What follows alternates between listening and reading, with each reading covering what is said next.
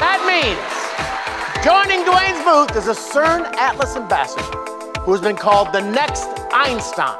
Please welcome seven-year-old genius, Romanieo Golphin Jr.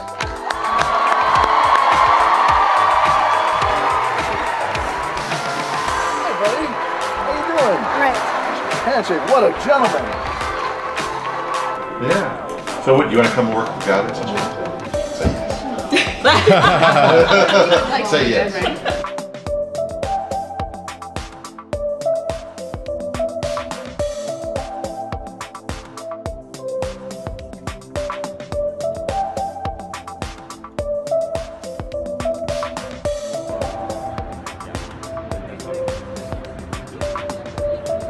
Is here.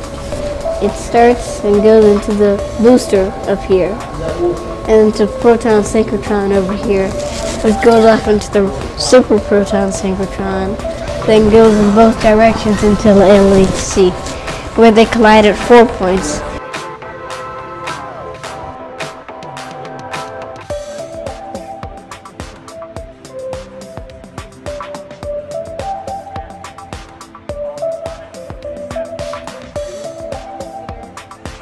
Can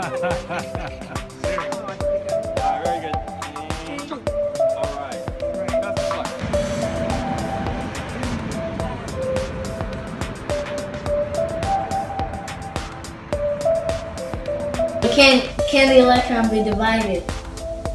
Maybe not. I did not expect that he asked questions that deep, you know. So I did not bring my true plasma ball. You can you, you can divide an electron, Yes, of course. but you can't put it back together. Yeah. So then, what, what that means?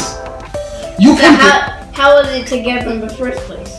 That's the exact answer. That means there is no such thing called purely negative charged particle. Did you hear his logic?